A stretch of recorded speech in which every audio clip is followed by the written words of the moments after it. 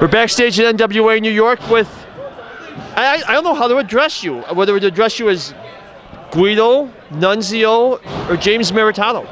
Well, to be honest, James Maritato was early in my career, and then uh, Little Guido was actually the first name I had that had some uh, some coverage and people knew who I was, and then Nunzio. So you, you take the pick. You can call me anything you like.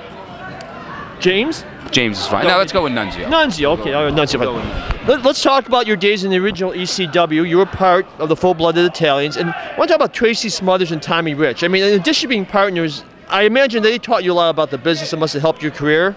Oh, absolutely they did. By having them with me was great. These are two veterans that have been around a long time. And uh, actually, before that, I had uh, J.T. Smith. See, a lot of people think I am the founder of the FBI, and I'm not. J.T. Smith was the first full-blooded Italian.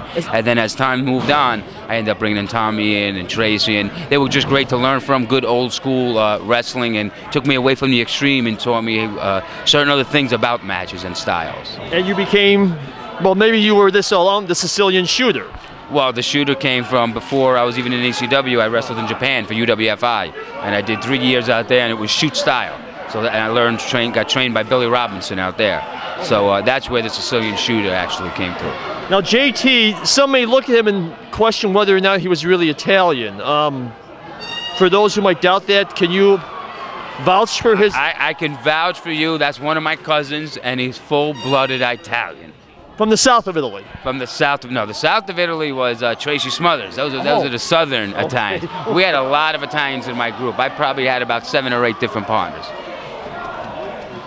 there you go. Now um, you were a tag team champion there. The, I'm sorry, twice. Let's not screw this up. No, I, I, I don't want. I, I, correct me if I say anything wrong, which will. will. probably happen at least twice. Um, eventually, you moved on to the WWE version of ECW. How do you look back at the whole experience? Well, I mean, if you look back on my career, I just think it was great, just the way things just kind of fell into place and stuff. You know, things change, the business changes. A lot of people didn't like the uh, ECW and WWE, and they say, yo, it's not like the original. Well, it wasn't like the original. Nothing will ever be about like the original. You got to accept the product for what it is now, and not try to compare it to what it was then. Yeah. So uh, I thought it was great. It gave a lot of guys opportunity, and a lot of guys got a second chance to come and work and get a full-time job in the wrestling business. So I think it was a, a good thing, and uh, you know as time goes on, everything fades out, and obviously that's not around anymore. But they got that that new program, the NXT, and and that's uh, that seems to be going all right. Um, you mentioned your background as a shooter. Tell us about you have an amateur background in yeah, terms of wrestling. I, I wrestled in high school. I I did. Uh, I was captain of my wrestling team when I was in high school. So when I got trained by Billy Robinson, he didn't teach me how to wrestle. He taught me the submission part. I already knew how to wrestle in amateur wrestling.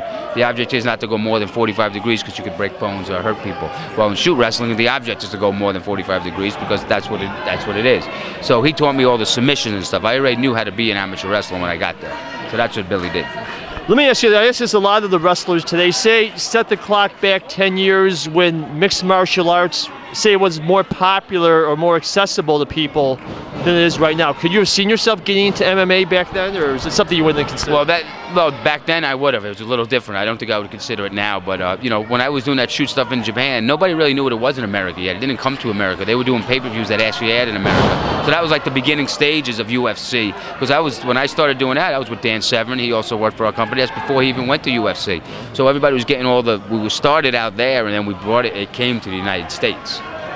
Let me ask you this. That's just a lot of. You've been around a while. You've, you've had a great career. Um, you know, 99% of the wrestlers out there would die to have had the career you did.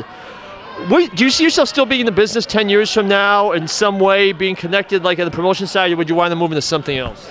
Uh, I don't know. You know, you can't. I can't make a decision now. Right now, I still love the wrestling business, and I'm still in it. And I, I do independent shows on the weekends, and I'm doing some other stuff uh, right now. So you know, I, will never say never. Never say leave the, the, wrestling business. I love the wrestling business. I've been around it almost 17 years now.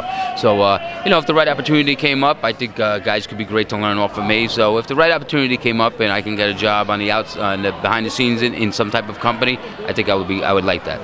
Do you have anything you want to say to the tens of thousands of Italian-speaking fans out there who have followed you throughout your career?